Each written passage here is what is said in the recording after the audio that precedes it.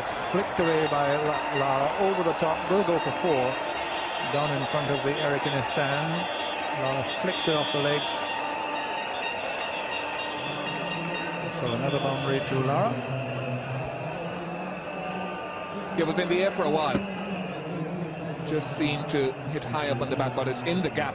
Something Lara is very adept at doing, hitting the ball into the gap. Kallis, the hands just going up in anticipation. Hope more likely that it could have gone to someone. What a glorious shot. What a glorious shot. Raises his 50. Typical Lara.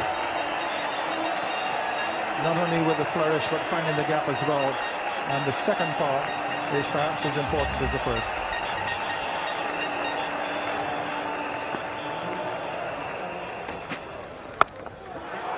Now look at that placement. Look at that placement.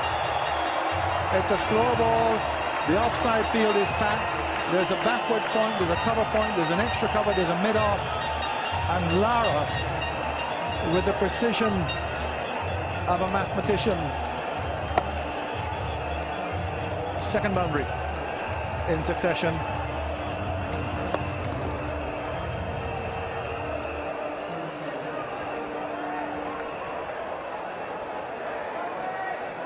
What next? Correct away for four. My goodness, he, you'll find whatever gap there is.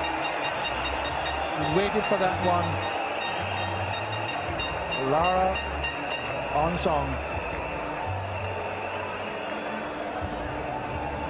He slashed a couple in front of point. And Jacques Kallis has fortified that area. He decides this time I'll go behind square. Gap finding at its best.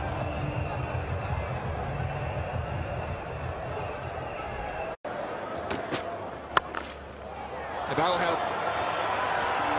He hit that very hard indeed.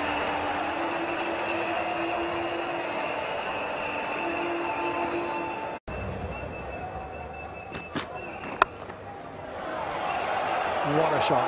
What a shot. Played on the move. The cut shot played as only the maestro can play.